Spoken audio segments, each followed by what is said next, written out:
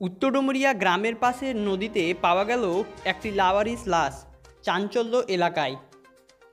রবিবার উত্তর দিনাজপুর জেলার চাকুলিয়া থানার অন্তর্গত উত্তর ডুমুরিয়া গ্রামের পাশের নদীতে পাওয়া গেল একটি অজ্ঞাত লাশ।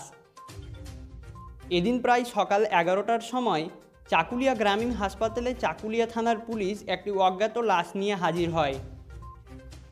সূত্রে জানা গিয়েছে, এদিন সকালে নদীর আশেপাশের কিছু স্থানীয় লাশটি নদীর ধারে ভাসতে দেখে চাকুলিয়া থানায় খবর দেয়।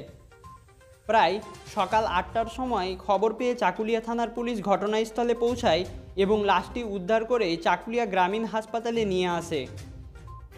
চাকুলিয়া গ্রামীণ হাসপাতাল থেকে ময়নাতদন্তের জন্য ইসলামপুর মহকুমা হাসপাতালে পাঠানো হয়। চাকুলিয়া হাসপাতালে উপস্থিত পুলিশকর্মীদের এ বিষয়ে জিজ্ঞাসা করলে তারা জানিয়েছেন, লাশটির কোনো পরিচয় পাওয়া যায়নি। এই ঘটনাকে কেন্দ্র করে এলাকায় বেশ চাঞ্চল্যের সৃষ্টি হয়েছে।